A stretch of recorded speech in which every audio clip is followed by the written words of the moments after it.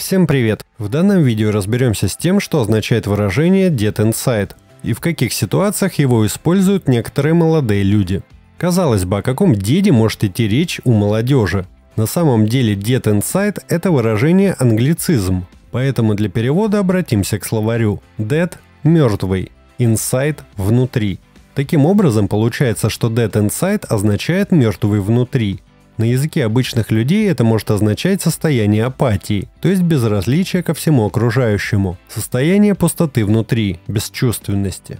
Однажды у таких людей был внутри некий огонек, но теперь все потухло, и они более ничего не чувствуют, то есть умерли внутри. Dead Inside – это молодежная субкультура дотеров-анимешников, которые считают себя мертвыми внутри. До этого были и другие субкультуры, которые были настроены депрессивно, были мертвыми внутри.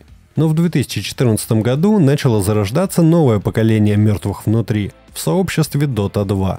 Эти молодые люди играют в моба-игру Dota 2, слушают русский рэп и увлекаются аниме, прежде всего токийский гуль. Dead Inside – это юные парни и девушки, обычно до 20 лет, которые проводят время за компьютерными играми, просмотром аниме и стримеров на популярном сервисе Twitch. По сути, Dead Inside – это нечто вроде агрессивных эмо. Пик популярности сленгового выражения субкультуры в целом пришелся на начало 2019 года. Тогда, благодаря социальным сетям, модным стримерам, ютуберам и тиктокерам, о Dead Inside узнали практически все. Другие интернет-пользователи нередко высмеивают Dead Inside и всех, кто к нему относится.